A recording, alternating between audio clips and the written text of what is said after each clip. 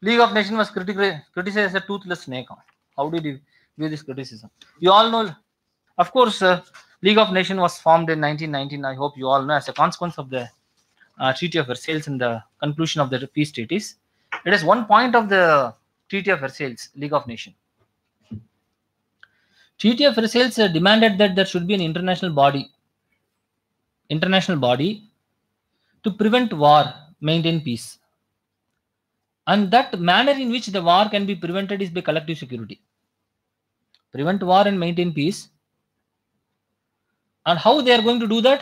By, they, by the concept of collective security. இதுக்கு முன்னாடி balance of power concept வச்சு பண்ணிட்டு இருந்தான் before nineteen fourteen or nineteen nineteen etcetera collective security so the league of nation essentially a body to maintain peace and prevent war அதுதான் அதோட main ஃபங்க்ஷனே okay but the league of nation did it prevent war did it maintain peace if it prevented war we can say it is a snake with tooth if it has not prevented it, it failed we will call it a toothless snake plus இது ஒரு aspect second aspect uh, fundamentally when the league of nation was conceived did it really have uh, the essential ingredients uh, ingredients which was supposed to have league of nation create பண்ணதோட நோக்கம் என்னன்னா if some aggressor some country is fighting like germany is aggressor country all other countries should try to attack that country and stop the aggression So essentially, League of Nations is a big arbitrator. League of Nations would impose its will on the other country collectively by the big army which is going to maintain the military which is going to maintain by the collective contribution of all the countries. எல்லா நாடும் league of நேஷனுக்கு ஒரு army அனுப்புவோம் இது எல்லாமே சேர்த்து league கிட்ட ஒரு army இருக்கும் ஏதோ ஒரு கண்ட்ரி போய் அக்ரஷன் பண்ணுச்சுன்னா இவன் போய் இந்த ஆர்மி அமைச்சு அந்த அக்ரஷனை ஸ்டாப் பண்ணுவான் ஓகே ஃபர்ஸ்ட் உங்களுக்கு பாயிண்ட் புரிஞ்சு போச்சு லீக் ஆஃப் நேஷனோட கான்செப்ட் அப்ப லீக் ஆஃப் நேஷன் சில வேலையை பண்ணணும். லீக் ஆஃப் நேஷன் பேச்சை எவனும் கேட்க மாட்டேங்கிறான்னா then this league of nation should be empowered it should have tooth to go and fight that country which is an aggressor அந்த tooth என்னது?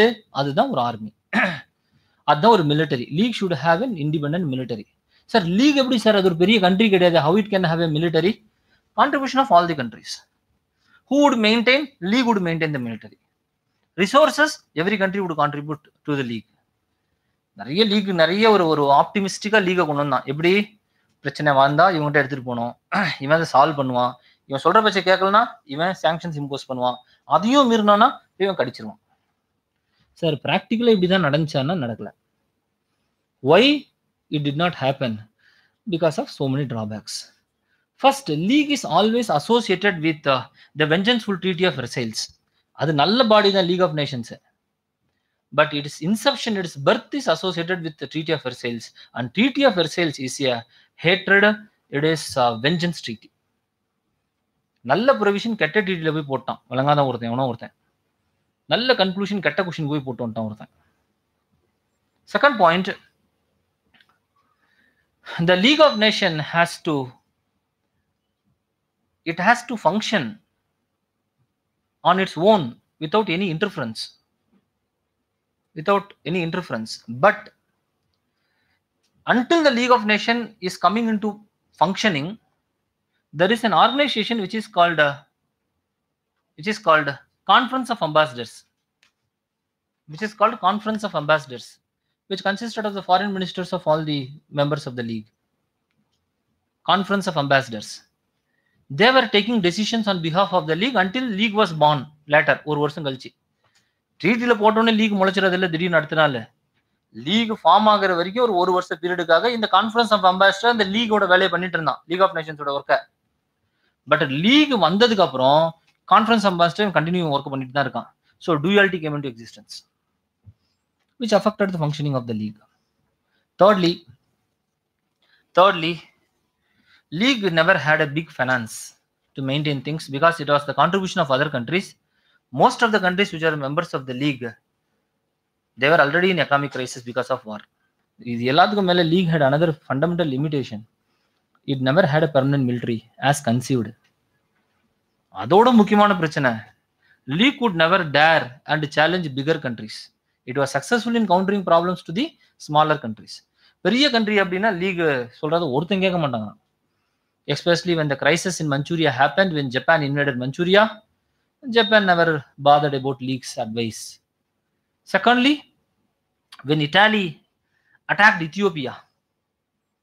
Italy also never listened to league's advice.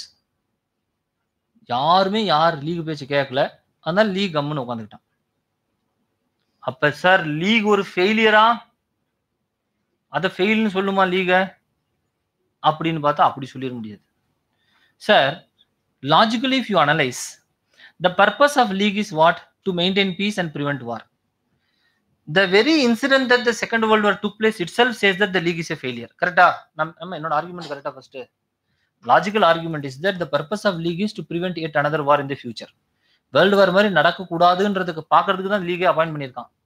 Second world war நடந்துருச்சுனால league failure தானே?